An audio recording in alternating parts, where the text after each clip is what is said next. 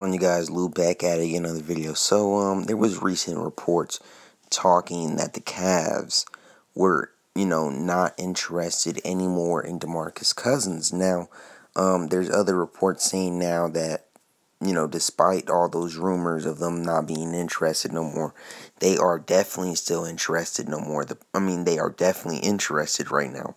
Um the biggest problem is that they don't think he's available right now and also, the fact of the matter is, they're trying to add a piece right now. So they're not trying to, you know, grab Cousins later on before the deadline and all. They're they're trying to grab him right now.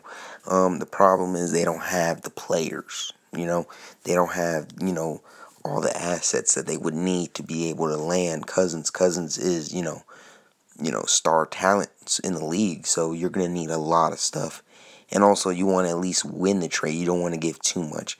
Um, people that are linked in this trade are probably Tristan Thompson, Iman Shumpert, Channing Frye, and they're also willing to give up Brooklyn's pick. Now that's not bad, but I think the problem is that you should have kept Kyrie for that. If you were going to try to make a big move like that, what was the point of trading for Isaiah Thomas? I get you're building a squad here, um, I mean, there's other dudes that they're targeting as well, center wise, like Jonas Valanciunas. But also, I just feel like you could have got a good deal, you know, trading Kyrie. But then you wouldn't have had the pick and other things, and I get that. But I just feel like maybe a package could have been made, and even for you know the Pelicans, that would have been great. You get freaking um, Kyrie, right? And then you still have Jrue Holiday, who you can still trade. I mean, I'm not really sure what you can get for Jrue Holiday in this league, especially the contract that he got. I don't even think a team would want that contract. But what I'm saying is, I mean, I think a trade is very unlikely based on the players that they got now that they're willing to trade. It's just not there, honestly. Um, DeMarcus Cousins to the Cavs, though, I ain't gonna lie, it would be nice. All right, um, they would be very powerful board wise. You know, they're going to be able to score the basket inside.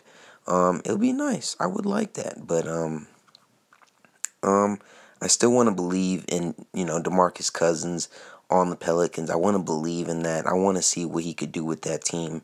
And I mean, that's just me. I've always wanted to see DeMarcus Cousins win, yo. Um, so honestly, this trade is very unlikely, but you never know. I said that about a lot of these moves. I've been very surprised this whole year on just all the stuff that's happened with basketball, except one thing. I knew who was going to win the NBA Finals. but it's okay. It's okay. But uh, that's going to be it for this video. If you guys enjoyed, please like and subscribe for more.